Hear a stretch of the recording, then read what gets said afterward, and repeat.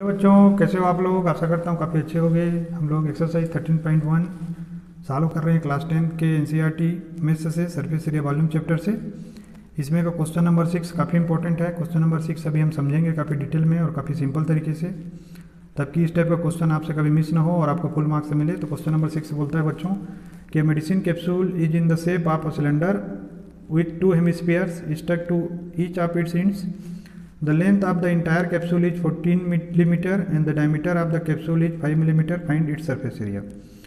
तो बच्चों देखिए, इसमें कैप्सूल दिया हुआ है जिसका टोटल लेंथ 14 एम mm है और जो इसका डायमीटर है वो 5 एम mm का है तो इसमें टोटल सरफेस एरिया को हम लोग को फाइंड आउट करना है तो चलिए बच्चों, इस क्वेश्चन को काफ़ी सिंपली तरीके से और काफ़ी अच्छे से हम लोग सॉल्व करते हैं और समझते हैं तो सबसे पहले हम इसका डायग्राम बना लेते हैं ताकि इसको समझने में ईजी हो तो बच्चों देखिए, ये वो कैप्सूल है इसका टोटल लेंथ दिया है, इतना 14 एम mm का, और इसका डायमीटर दिया है 5 एम mm का। तो देखिए, यहीं पे एक चीज़ समझने वाला है कि ये जो हिस्सा है, ये जो हिस्सा है तो ये क्या है, इसका रेडियस है तो 5 का रेडियस 5 एम mm का डायमीटर है तो उसका रेडियस कितना हो जाएगा 5 बाई टू और ये भी एक रेडियस है, ये भी हो जाएगा 5 बाई टू तो फाइव बाई टू एम और ये five by two m m हो जाएगा।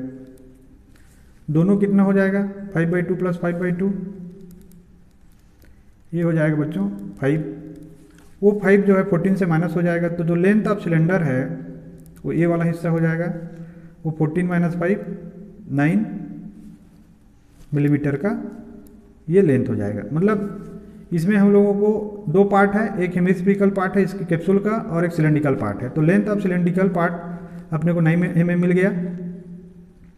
अब देखिए, जब इस चीज़ को हम समझ गए डायग्राम से तो बाकी चीज़ एकदम सिंपल है। अब इसमें बोलता है कि surface area of the given capsule तो इसका सरफेस एरिया का फार्मूला हम लोग कैलकुलेट कर सकते हैं।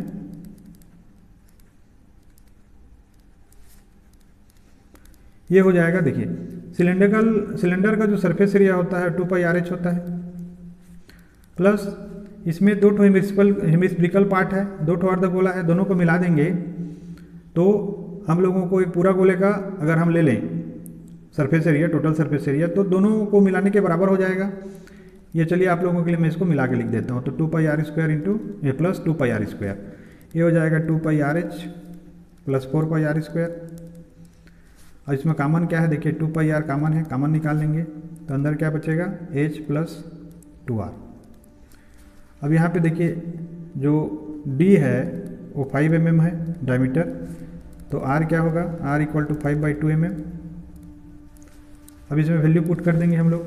तो हो जाएगा two into pi into r का value five by two bracket में एच का वैल्यू नाइन है. यहाँ से हमने नाइन लिया हुआ है. Plus two into five by two हो जाएगा आर का वैल्यू तो टू वन जा टू वन जा तो हो जाएगा टू इंटू पाई का वैल्यू ट्वेंटी टू अपन सेवन रख देते हैं into five by two into bracket में नाइन प्लस फाइव